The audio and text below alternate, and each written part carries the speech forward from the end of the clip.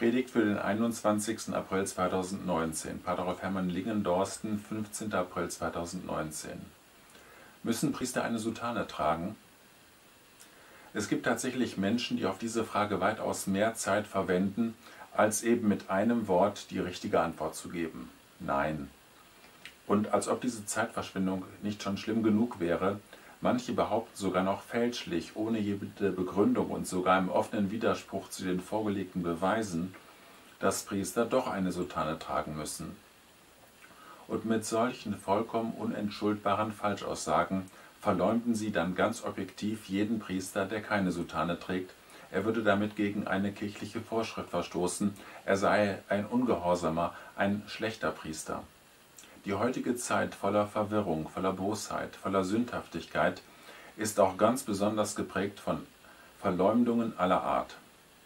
Wie furchtbar Verleumdungen sind, erkennt jeder sofort unweigerlich bereits aus der Vernunft, denn Verleumdungen untergraben jedes Vertrauen, das notwendig ist für die gesellschaftliche Ordnung. Bereits Kinder müssen aus dem Katechismus wissen, gegen die Ehre des Nächsten sündigt, wer ohne genügenden Grund vom Nächsten Böses denkt. Falscher Argwohn. Schlimmer sündigt, wer ohne Not verborgene Fehler anderer weitererzählt. Ehrabschneidung. Wer andere verdächtigt, die Fehler anderer vergrößert oder anderen fälschlich Böses nachsagt. Verleumdung. Ebenfalls sündigt, wer Reden gegen die Ehre des Nächsten mit Wohlgefallen anhört. Wer die Ehre des Nächsten schwer verletzt, sündigt schwer. Wer dem Nächsten an der Ehre geschadet hat, muss allen Schaden nach Kräften wiedergutmachen. Der Verleumder muss die falsche Aussage widerrufen. Wer einen anderen öffentlich beschimpft hat, muss auch öffentlich Abbitte leisten. Wenn ich von ernsten Fehlern anderer höre, will ich mich zuerst fragen, stimmt das überhaupt, was erzählt wird? Also es ist ganz objektiv Sünde, oftmals Todsünde, die Behauptung eines Fehlers zu verbreiten, wenn die Quelle nicht zuverlässig ist, wenn die Begründung der Quelle nicht überzeugend ist oder sogar vollkommen fehlt. Und selbst wenn die Vorwürfe bewiesenermaßen zutreffend sind, dürfen sie nur dann verbreitet werden, wenn ein ausreichender Grund dafür vorliegt. Die Seuche der Verleumdung wird von vielen Menschen gehegt und gepflegt, vergrößert und verbreitert. Auch deshalb ist jedem sofort unweigerlich klar, dass man sehr vorsichtig sein muss, sobald man auch nur von Behauptungen erfährt, die den Ruf eines anderen schädigen. Und natürlich ist es grundsätzlich ausgeschlossen, dass man das Verleumdungsopfer zu den Vorwürfen befragt, denn damit würde das Opfer noch zusätzlich zeitlich und auch seelisch belastet. Und selbst wenn das Opfer jede Anfrage beantworten wollte, irgendwann würde auch die Zeit dafür nicht mehr reichen und ein Schweigen würde dann womöglich noch als Eingeständnis verbreitet, dass das Opfer schuldig ist. Bereits deshalb kann und gegebenenfalls muss man ausschließlich die Verleumdungsquelle nach seinen Beweisen befragen.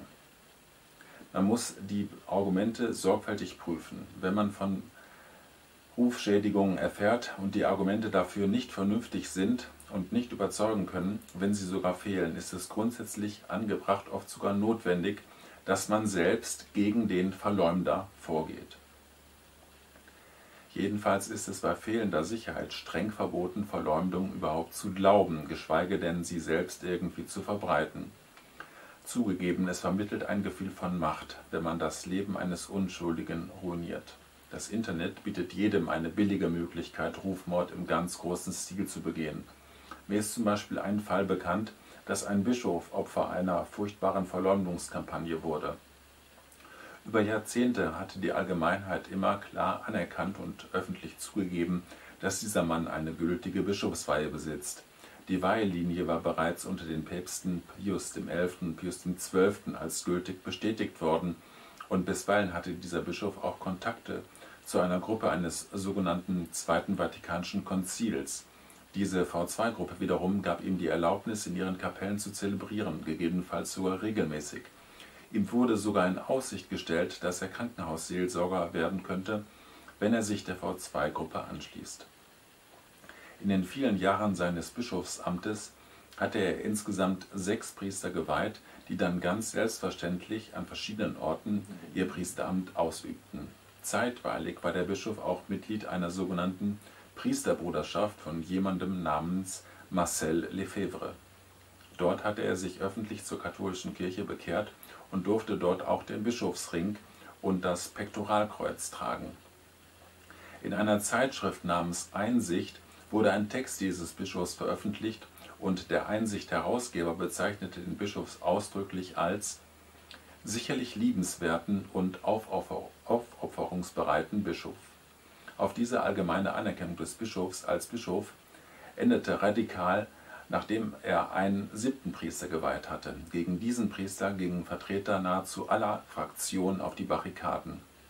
In diesem Zusammenhang wurde der Bischof dann kurzerhand zum Laien erklärt, damit man auch den Priester zum Laien erklären konnte.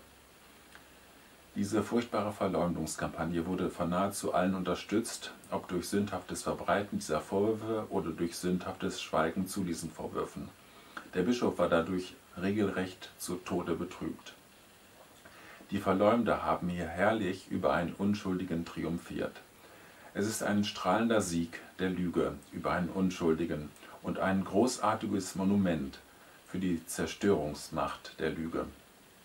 Natürlich kann es häufig sein, dass man einfach nur so aus Gedankenlosigkeit, aus Langeweile, aus Spaß an der Freude Rufmord begeht. Und eben, wer wollte freiwillig auf diesen Spaß, auf diese Macht verzichten, einen rechtschaffenen Menschen einfach so zu quälen, zu terrorisieren, zu ruinieren, zu zerstören, um sich dabei von allen Vorwürfen bzw. Gewissensbissen der Ungerechtigkeit möglichst freizuhalten, weigert man sich gewaltsam und hartnäckig, sein Gewissen und sein Gewissen richtig zu bilden, um für eine objektive Todsünde des Rufmords niemals zur Verantwortung gezogen werden zu können.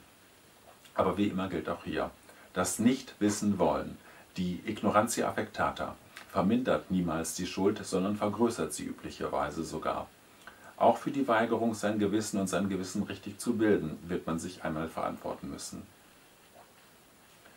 Unser Herr Jesus Christus selbst wurde verleumdet, er sei von Sinnen, er sei von einem Dämon besessen, er sei ein Diener des Teufels. Schließlich wurde er als Schwerverbrecher angeklagt und zum Tode verurteilt. Aber Christus ist von den Toten auferstanden. Also auch wenn in dieser Erdenzeit die Lüge immer und immer wieder herrlich triumphiert, auch wenn Gerechte als Verbrecher verurteilt und Verbrecher als Gerechte gefeiert werden. Christus hat gesiegt. Aus der Auferstehung Christi schöpfen wir die Hoffnung, dass die Wahrheit einmal endgültig siegen wird. Auch die Verleumder, so ignorant, so böse sie auch immer gewesen sein mögen, werden sich vor dem Weltenrichter Christus verantworten müssen. Vor Christus, dem Auferstandenen, vor Christus, dem König der Könige, wird sich jedes Knie beugen vor Christus, der die Wahrheit und das Leben ist, vor Christus, der kommen wird zu richten die Lebenden und die Toten. Leben wir also ganz und gar in der Wahrheit, hüten wir uns jederzeit vollkommen davor, über andere in ungerechter Weise zu denken oder gar zu reden oder zu schreiben. Falls wir schwer gesündigt haben, dann erwecken wir sofort die vollkommene Reue, empfangen wir bei nächster Gelegenheit das Beichtsakrament und setzen wir unsere Kräfte dafür ein, den angerichteten Schaden wiedergutzumachen, damit wir dereinst teilhaben an der ewigen Freude des Himmels. Amen.